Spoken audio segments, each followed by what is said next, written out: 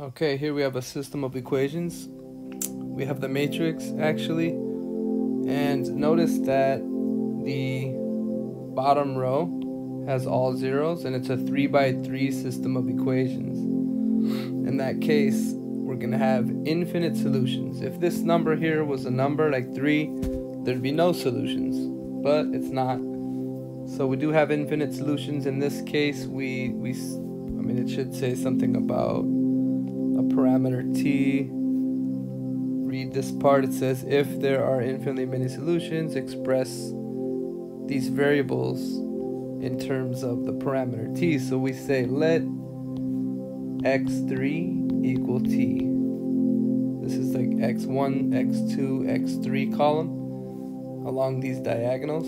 So that this zero here would be in the x3 location. So that's what we got to do. And then so row 1 can be writ rewritten like that. x1 plus 4x3 equals negative 5. See that? You see that here? Um, the 1 the 1 and the 4 are in the x1 and x3 spots and those become the coefficients.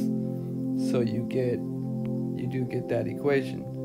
x1 plus 4x3 equals negative 5, and then the second equation, you get x2 plus 3x3 equals 5. Now from those, we can go ahead and get the infinite solutions.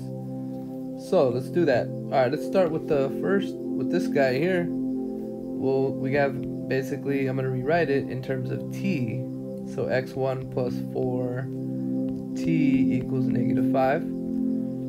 If we subtract 4t from both sides, subtract 4t, we get x1 equals negative 5 minus 4t. And notice that that's here. See how we got that? And now x3, that's t, because we lit x3 equal t. So then lastly, with the second equation, if we take that, maybe bring it down here. If we take that equation and let x3 equal t, we get x2 plus 3t equals 5. We subtract 3t from both sides. Subtract 3t from both sides. You get x2 equals 5 minus 3t, which is there, right? So there you go. That's how you get the answers. Notice that they wrote it as an ordered triple. We have it as negative 4t minus 5, 5 minus 3t, and t. So that is an ordered triple that represents the infinite solutions. So that's it.